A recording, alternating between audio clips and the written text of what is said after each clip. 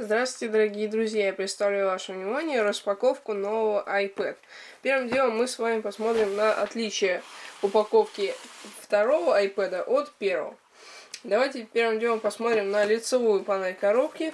Здесь мы видим черный iPad, это второй iPad, и белый iPad, это новый iPad. Э, отличить их можно по одной простой вещи.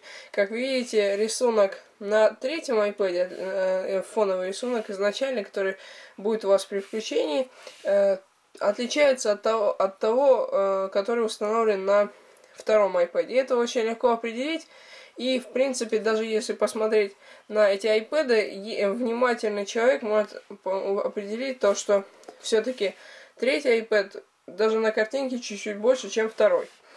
А, еще одно отличие, которое отличает э, второй iPad, но только который выходил э, в, э, ну, который выходил в самом начале своей продажи, не, не тот, который вот только, только недавно начал выходить, я имею в виду, э, с уже установленной iOS 5 и установлен iCloud.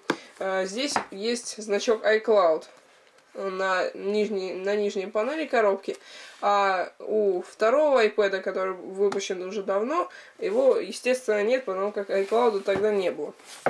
Еще одно отличие, которое отличает третий iPad от второго, это надпись о том, что в этом устройстве есть модуль 3G, а в случае с новым iPad модуль 4G. А, к сожалению, у меня в данный момент нет модели с 4G или 3G, но когда вы покупаете модель с 3G или 4G, если это новый iPad, здесь будет стоять э, надпись 4G, а у второго iPad надпись 3G. Ну вот, это, собственно, все отличия, которые мне лично бросились в глаза по, по сравнению с, со старым iPad. Давайте теперь распакуем и посмотрим, как что, что лежит внутри данной коробки. Этого мы возьмем нож и аккуратненько по краям э, обрежем этот полиэтиленовый засов, который отделяет нас от нашего прекрасного любимого iPad.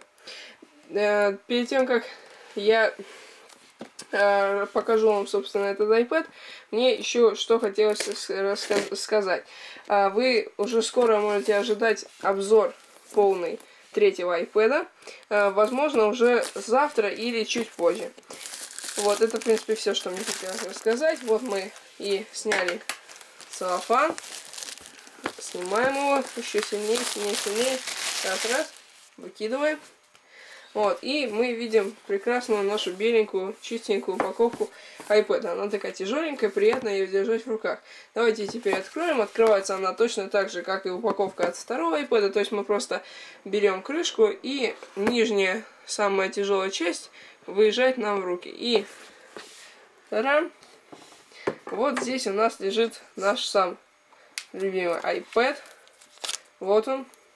Такой вот весь закутаны в пеленки, но о нем позже.